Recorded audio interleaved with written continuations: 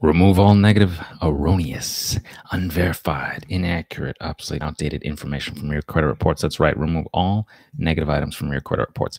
Here we are once again on the live stream on a Saturday. Today is Saturday.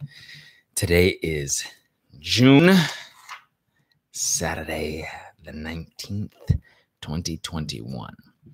As individuals start to come into the live, I'll ask them, Can you hear me okay? Also, I'm going to put my email address here. That's right. Who else is putting their email address out there for you so you can email me? You can email me and the team, and we can help you get to the other side. That's right. Also, if you are interested in doing repairing your own credit, I'm putting sites in here 609creditrepair.com, or we can do the work for you at the awesome life telling you, now is the time. Now is the time. You are seeing it. You are seeing it out there as we come out of these unprecedented times where we have the ability to get out and potentially you want to get that home now, right? You might want to get that car now. You may want to get that new career, that new business. Now is the time. In fact, business credit is on your mind. ALG business credit.com. I want to put everything here before we get started. Hi, Brooks is here. Hey, B. Hey, good to see you. I can hear you first time on your live. Good to see you. Adrienne, Adrian, Adrian.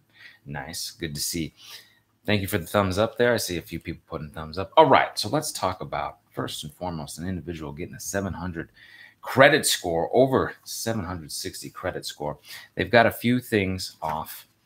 Uh, their negative, nasty, erroneous items. They started at the 500s in the high 500s. And uh, new business. Yes, individual wants new business this year. That's right. Kaylee Hill, hey, I haven't, hey, Brandon, haven't been out in a while. Thank you for showing up. I appreciate it. Individuals coming out. Uh, it's summertime now, basically summertime. It's getting warmed up. People are coming out. People are on the live. People are getting out there, having a good time. Enjoy. And remember, we are here to help you get your credit squared away. So if you have any issues, let us know. Got my email here. So individual says, Hey, look, you know, got this email coming in. Everything seems pretty solid. I'm up in the 700s. Okay. Um, took me a few months. I actually did in a couple, in a few months, which is good. They said three, which is great. But now they have some hard inquiries. Okay. And it actually looks like some of their hard inquiries are holding them back, which is interesting because they have a credit score in the mid 700s. I had a similar situation where I had some hard inquiries. Uh, for me, it was a little different because I had them attached to accounts that were in good standing. And that means that, hey, you want to leave them alone. You don't want to dispute an account. You don't want to dispute a hard inquiry that has a good account associated with it because oftentimes they'll say, oh, well, you know what? We'll just close out that account. But if there's non-account holding inquiries, you can dispute these things. Okay. We've got specific letters that talk about, and we've talked about Section 604 of the Fair Credit Reporting Act, how it can be utilized. They have to be able to show permissible purpose. So oftentimes the collectors or credit card companies or, you know, original furnishers of information like original creditors, they're supposed to have some type of documentation, contract, agreement showing that this is, you know, the agreement that you said that you were going to get for a card or uh, a contract for that card or whatnot to maintain that trade line on the report. So to do that with the hard inquiry is something very similar. They've got to be able to show, hey, was there an application? Would this individual actually reach out? Was there permissible purpose to do a hard inquiry to look for credit for this person? Do they have that documentation? Okay. Can they 100% verify that? Can they provide that? Otherwise, anyone could put anything on anyone's credit report if they had access to it. You have to be able to substantiate this. So oftentimes, you know, they don't want to necessarily play by the rules. Some people want to play games. Some viewers want to play games. Some collectors and creditors, they say, oh, well, you know, they didn't maintain that documentation. They didn't think that you knew your rights. They didn't want to hold millions and millions and millions of documents. Well, that's not on you, that's on them. Those are your rights. Those are the rights on the Fair Credit Reporting Act, Fair Debt Collection Practices Act, okay?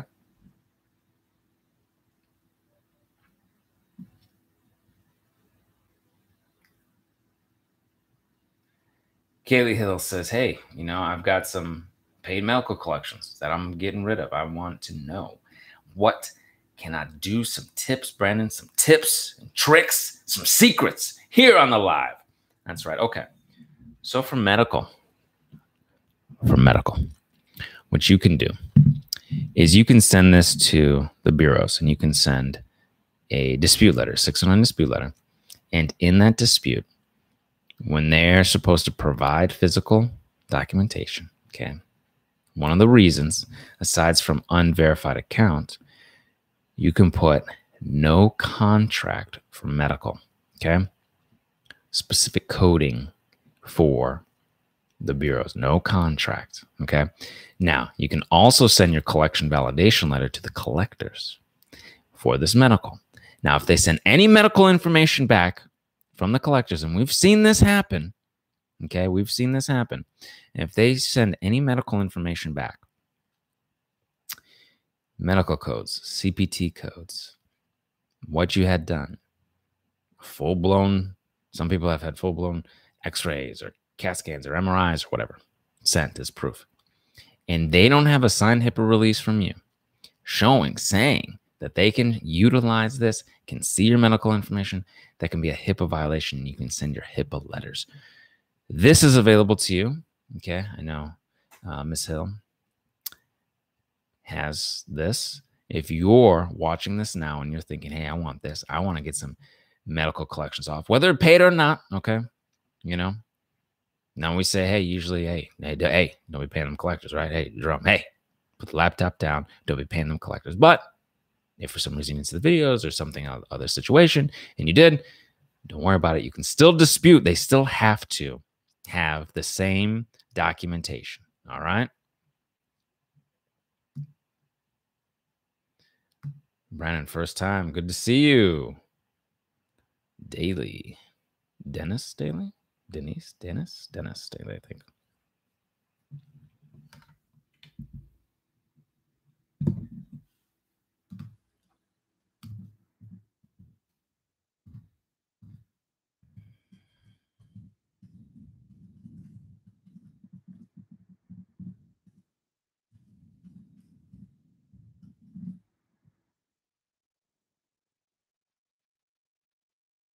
Bureaus failed to investigate collection.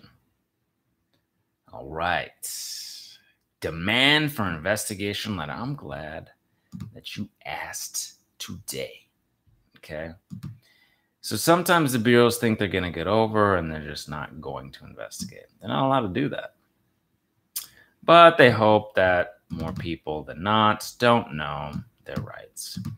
And so we have this is why I say you want to utilize these letters and the way they're written and the way that we've created them after, you know, years of doing credit repair, repair my own credit, and learning.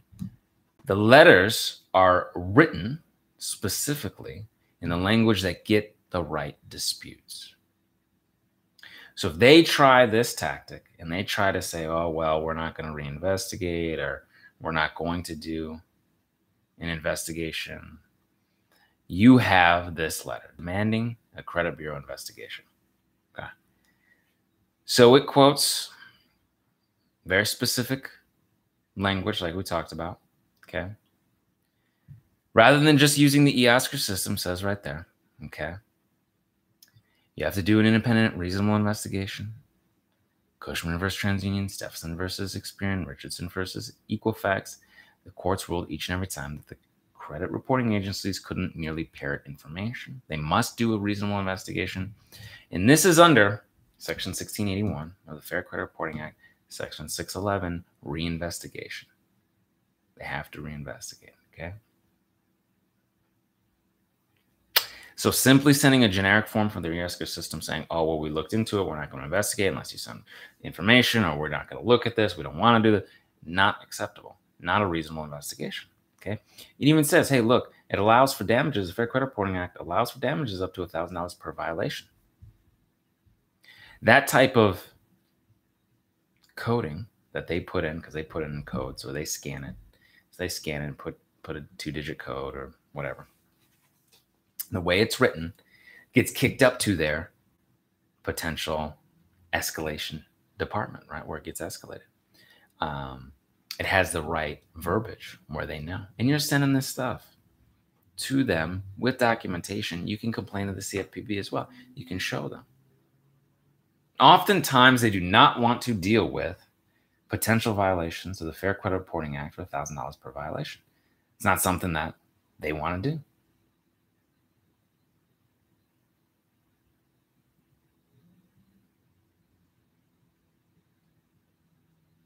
Oh, they removed oh, your performance. They removed they they removed your negative item in 32 days. Okay, very good, very good. Good to hear. Good to hear your credit repair is going well.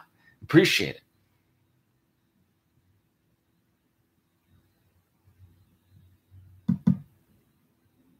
All right. Brandon, I'll be giving you a call next week. All right. Good to hear. Good to hear. Getting in with the Awesome Life group.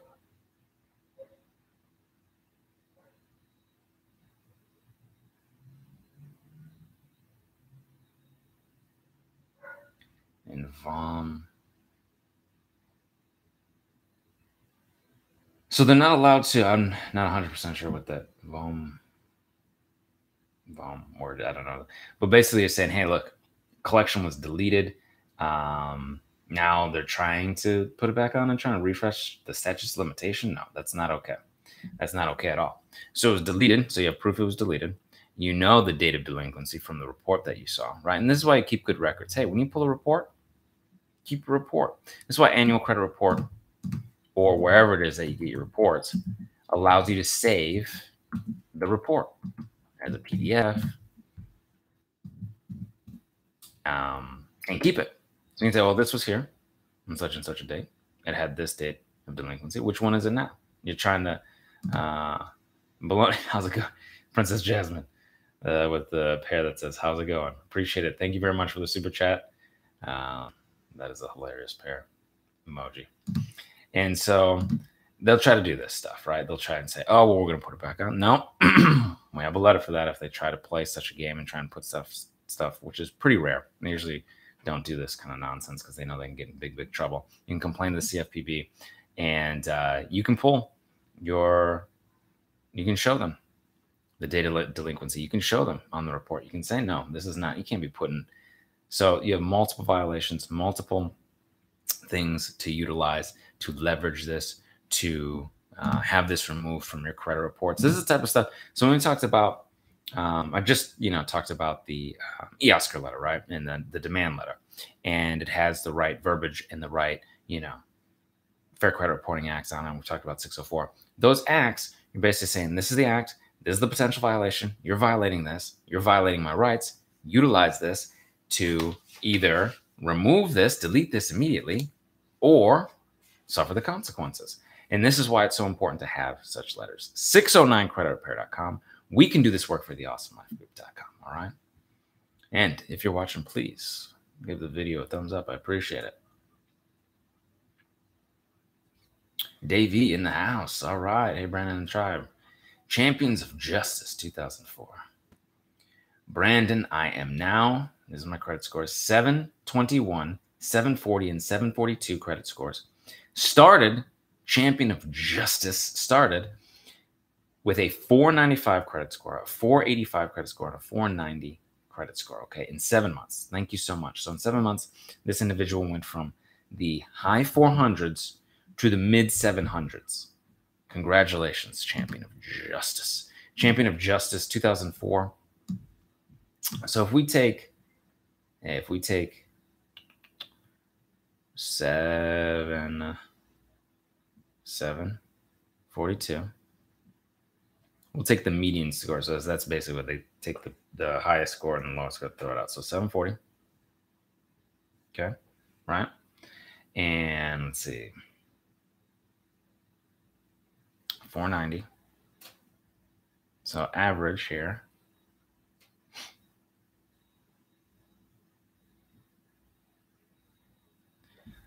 wow, a 250 point boost in seven months. So in seven months, this individual got a 250 point boost, right? Along the way, Champion of Justice was getting stuff moved, right? In that right direction.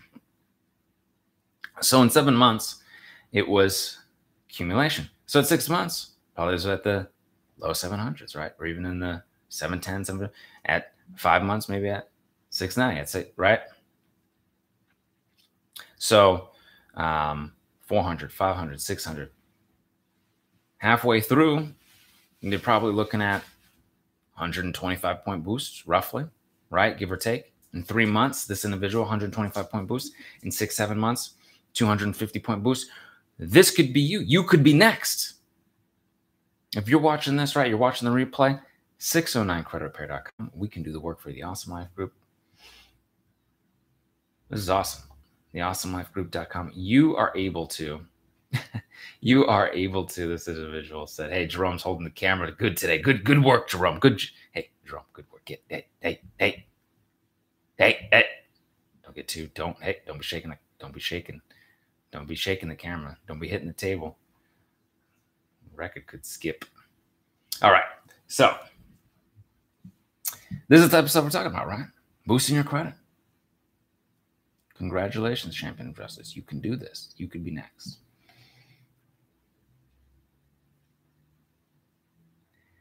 Ah, haha. Wireless expert. What do you do when Experian isn't accepting your online dispute and now they're not accepting the mail. Okay. So don't you don't want to dispute online, don't be disputing online. They don't uh, allow for uh, certain disputes. You want to send everything in the mail. Um, if you've done a bunch of online disputes and now they're like, oh, well, we're not going to look into this. We're you know what I mean? Uh, basically, what you would do, maybe wait 30 days. Um, if you had to, you could send a drop all disputes letter. If anything is in still says consumer disagrees or whatever like that. And then you can send your start with your uh, 609 dispute letters.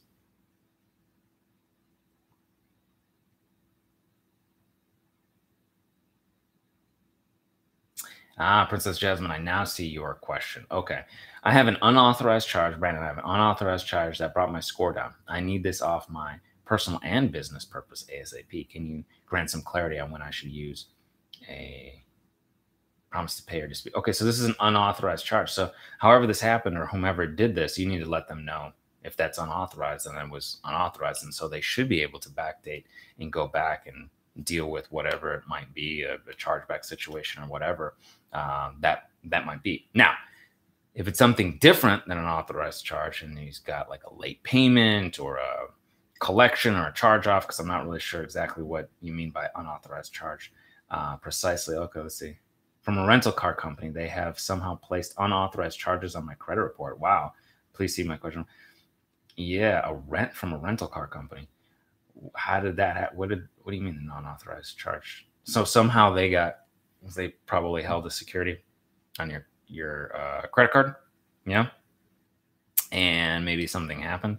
Uh, I don't. I don't really know um, what the situation is with the rental car company uh, you can let me know.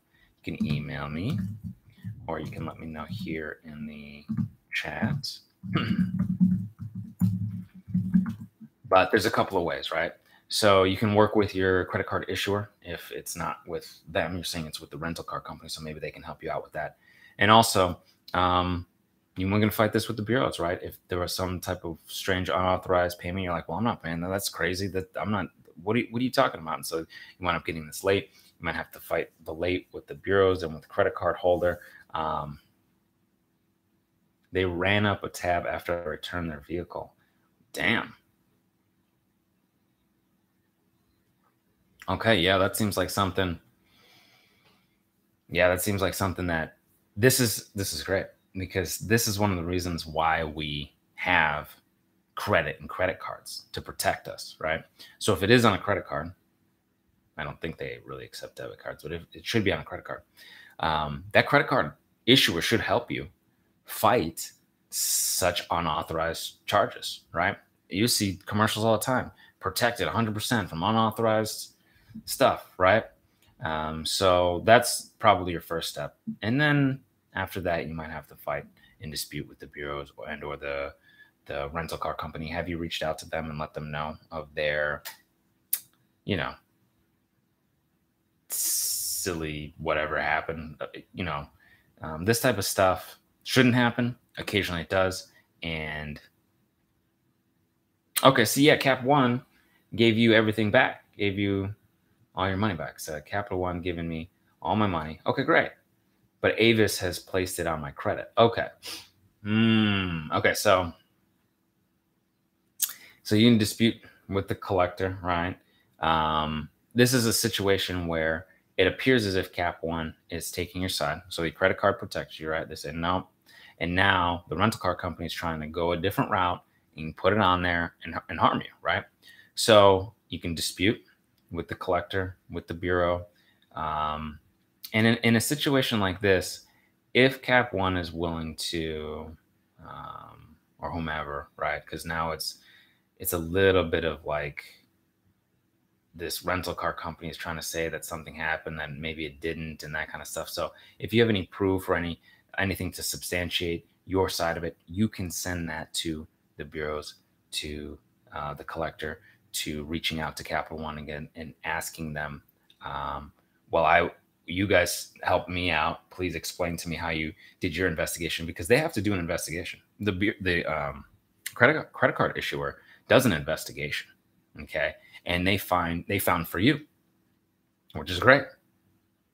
Okay, they don't just willy nilly. Oh, okay, well, yeah, okay they're supposed to do an investigation. Just every every time every time things are open it's an investigation. So if they found for you they should be able to provide you the information that they found and you should be able to utilize that to help you leverage that to get it off your credit reports okay? If you have further questions anyone including princess jasmine please email me okay? Email me if you have further questions or concerns. All right i'm putting my email address in here again you know we get to talking, we get to going. All right. Yeah, all right. We got to go back through the live.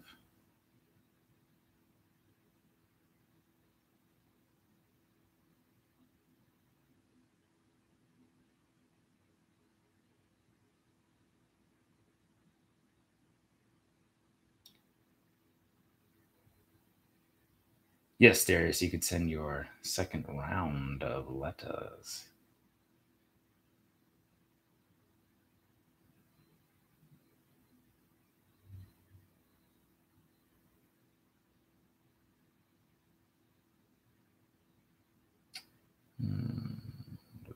Hmm. Princess Jasmine, all right. All right. Thank you very much for the super chat. Thank you very much. We'll do, and we'll be in touch if any additional questions. Fantastic. Sounds good. Sounds real good. Appreciate you all. I appreciate you all being on the live as well. It's a weekend. I know you probably enjoy grilling and chilling on the weekend. I know last weekend evening I did some grilling and chilling.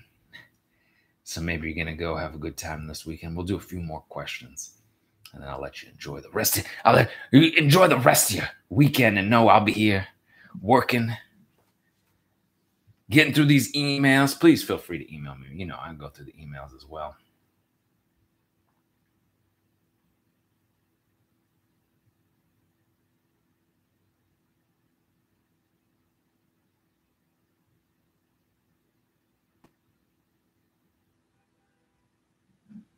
Hmm. This is interesting. Ms. Sharon Dixon, using your 609 dispute letters, is it necessary to call each debt collector to obtain the full account number? Okay. My report does not show the full account number. The answer to that is no. No. You do not need to call any collector or any credit. You don't need to call call you don't have to call. You will get the partial account numbers on your credit reports. That is all that you will need to utilize for your disputes. So, if you see a partial account number, you can put that partial account number in exactly as it appears into the letters. Okay, type it in. And myself, I learned that. I was like, hey man, do I do partial account? Do I have full account number? Do I have the old stuff around? What what is what do I do? What do I find? Partial account number is fine. Perfect. Send it. Unverified accounts, collection accounts, partial account numbers. And it's also there for your security because actually your social should be partial on your reports as well, right? So when you pull your reports, if someone is looking at, let's say you're going to get a loan for a car, right? Or a home, or you want to start business and get a credit card for your business or get credit cards for your personal use. And When somebody, anybody is looking at that credit report, they're looking at it and you don't want them to see your social, full social. You don't want them to see your full account number. They would have your full account number, the credit card, you know, where you live, your full social. They could, you know what I mean? So it's for for for privacy, for identity uh, reasons, identity theft reasons, and, and and security. So yeah, it's a good thing. But I, I had a similar question when I was first uh, getting going too. I was like, oh man, I need a full account number. No, no, no. Partial account number is perfect. Whoop. Oh, Princess Jasmine also said, yes, you're correct. I have all the supporting docs from the credit card company. Excellent. So you send that. That's right. That's right. You send that to the collectors, to the bureaus. You show them this is not okay to put this stuff on your credit reports.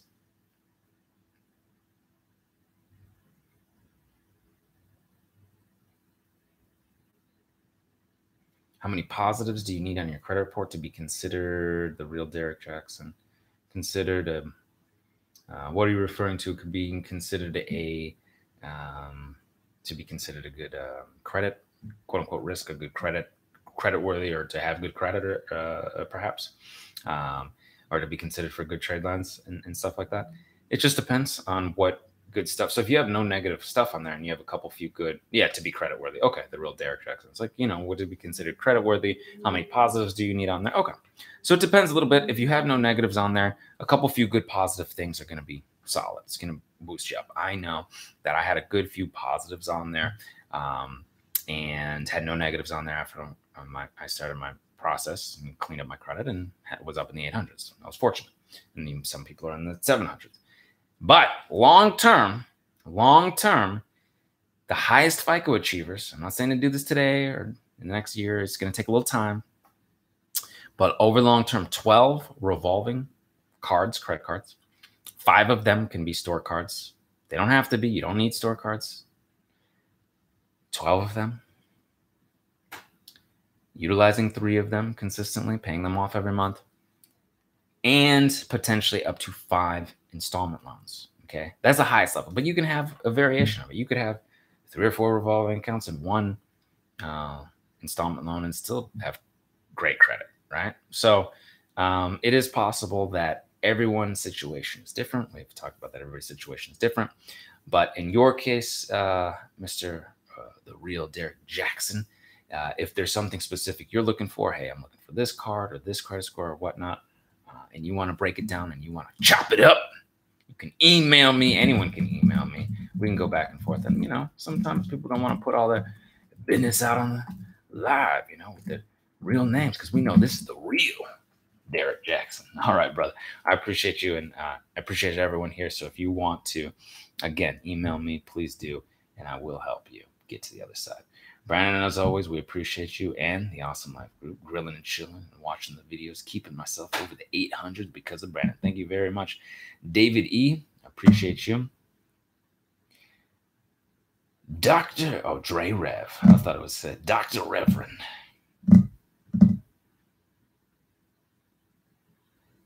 Ah, mortgage loan, mortgage rate in your FICO 5. All right, cool. So it's very cool. In FICO system, they should should be able to click and see uh, what they're looking at and why the risk is the way it is for a specific score. Okay, so my FICO 8s are very close to the mortgage, almost uh, identical. Okay, but yours is a little bit different, a little bit lower. So I would need to know your specific situation and why they're saying because they will usually tell you. They'll usually say, "Oh, not enough installment loans, too much uh, revolving credit or too many lines of credit not being used. They'll they'll come up with all sorts of nonsense, guys. Trust trust me, it's silly because his scores are a little bit different but mine are not. Why would that be? Right. So we have to get into it. What are they saying? What kind of game are they playing? But they'll tell you. They'll tell you what they're looking for. They'll say like uh, other things. Too many new, too many new accounts, not enough history. Like they'll tell you what it is. So if you tell me, Dre Rev, Mr. Reverend, Doctor Reverend, what it is, uh, I'll be able to help you. Wow. CJ's Deli. Ooh, deli sounds good. Little deli action. Maybe open up a little deli. I purchased your 609 package. I have proof I went from 496 to 675 in two months. Thank you. I have a question though. All right. Closed accounts. I have some closed accounts I want to remove. Okay. You can dispute those as well. I don't know if uh, CJ's Deli, if you disputed your closed accounts as well, the 609 dispute letters, but you can do that. Sometimes people say, oh, well, this closed can only dispute the charge offs and the collections. The closed accounts, if they're negative, CJ, here's the thing CJ's Deli. If they're negative, just because they're closed doesn't mean they're negative. You can have positive closed accounts. Okay. If you have positive closed accounts, CJ, you want to leave them alone. Are they negative, CJ's Deli? What are they? The charge offs, the collections. What are they? What are they? CJ, okay. Yes. Okay. So they're negative. So you can, so they're negative. Sorry, I got confused because I asked two questions. I asked if they're positive or negative. Okay, so they're negative. Charge offs and collection. Okay, you can dispute them. Hey, two months. Hey, two months, CJ. You went from CJ's Jelly. You went from four four ninety six to six seventy five. Sometimes they try to be like, oh, try to keep you in that middle ground. They want to try and keep you in that middle ground. But look, you can send your next round of disputes. Send your collection validations letters as well. All right. Complain to the CFPB. Okay. You can do this. Uh, Mr. Trey. All right. Mr. Trey Griffin. I saw your emails. I've been emailing you. I just emailed you this morning. I don't know. Did you get my email about that? What you asking right now? What can I do to write to the bureaus? The items were removed. You can show the items that were removed with your next round of letters. Okay. That's what you can do. Ah, CJ Deli said, but thank you. Okay, but thank you. All right. Do you have a deli, Mr. CJ's Deli? Sounds delicious. Where's your deli? Bam Bambino Melendez Para. It's got a long name there. Hello from Chicago. Thank you for everything. You're very welcome. Appreciate it. I'm about to email you. Ah, CJ's Deli. Yes, sir. Got a deli. All right. Trey says, yes, LOL. Thanks. I just saw it. Okay. So, Trey, you getting my email. See, Trey, right now, Mr. Trey Griffin coming on the live saying, Hey, Brandon, I did get your email. I did get your email. That's right. Because I email. Because I email you. I will email you. Okay. So, feel free to email me. I appreciate it. Appreciate everybody on the live here, being on the live, enjoying getting to the other side. Trey Griffin is laughing. That's good good. Enjoying the laughs, the levity. All right. Enjoying that comedy. Look, I don't always do stand up, but when I do, I don't pay the collectors. All right. No, I'm just kidding. I'm just kidding y'all. Don't be paying them collectors. All right. Um, from Chrysler Capital, they, oh, yes, yes. So make sure you're sending, you know, your multiple rounds of goodwill letters, but you can also dispute right with the credit bureaus. Okay. You can send your late payment disputes. You can send your 609 disputes. You've got multiple rounds of 609 disputes and you can put unverified late payments. Okay. Let's get it. Let's get this good credit. Let's get this 700, 800 credit score. I'm to tell you what, I'm to put my email address in here and we're to sign off for the day. You know how it does. We're going to. Thank you, Brandon. We love you. I KD love you as well. I love you all. Mm-hmm. It is always a blast coming on the live and having a good time with you guys, helping you get to the other side. I'm seeing people go from the 400s into the 700s, going from the 400s into the 600s, the 700s, the 800s, from the 500s to 700s, 500s, 800s. You could be next. 609creditrepair.com. We could do the work for you at the awesomelifegroup.com. I'm telling you, you want this. You want to build your wealth, family wealth, get that home, get that nice car, get that business, get that business credit we can do this. We can help you. We can get you to the other side. Okay. Please give the video a thumbs up. The subscribe tribe button is there for you to press and jump on the live chats. All right. You have changed my family's life. CJ's Deli says, You have changed my family's life. And that's what we want to do. That's what we're about. So until I see you in person, I will see you on the other side. Take care.